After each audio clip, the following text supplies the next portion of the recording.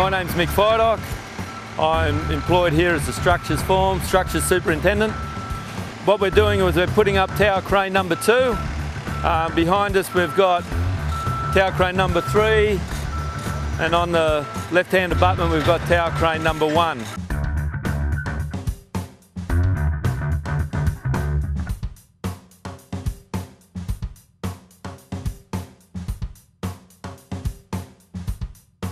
We're just busily trying to get up tower crane number two so we can actually make some space so we can do a concrete pour tomorrow on the intake tower that's directly behind us.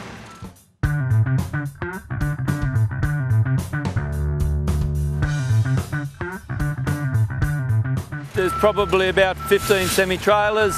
We actually build a, a base for the tower crane to sit on. We stress the base, we put a bottom section on, we stress it all up, then we actually load all of the tower sections. We then put on the machine deck, front and back, um, some counterweights, and then install the boom. It sounds very easy when you talk about it like that, but it probably takes two, two days.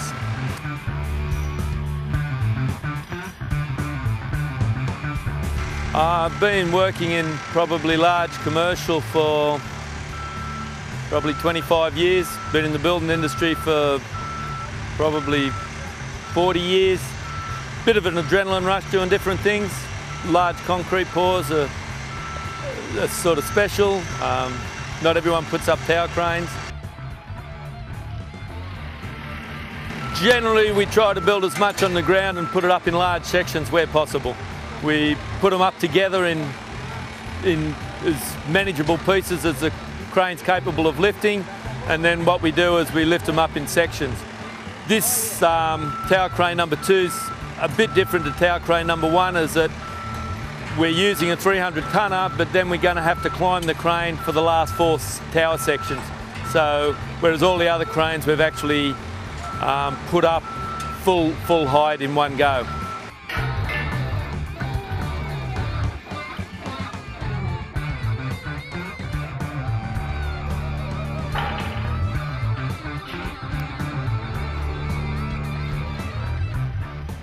The blue section up there is the frame, the climbing frame to put the tower sections in.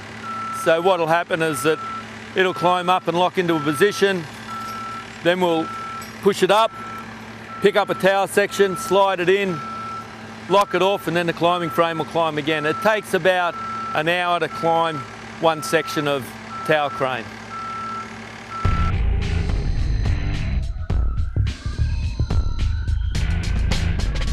There's a fairly large walk down to get to the base and then there's a fairly large climb up to get into the tower crane.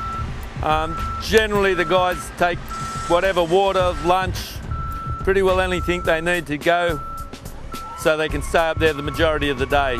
Um, it doesn't come with any toilets so generally the guys go to the loo before they get up there and then cross their legs.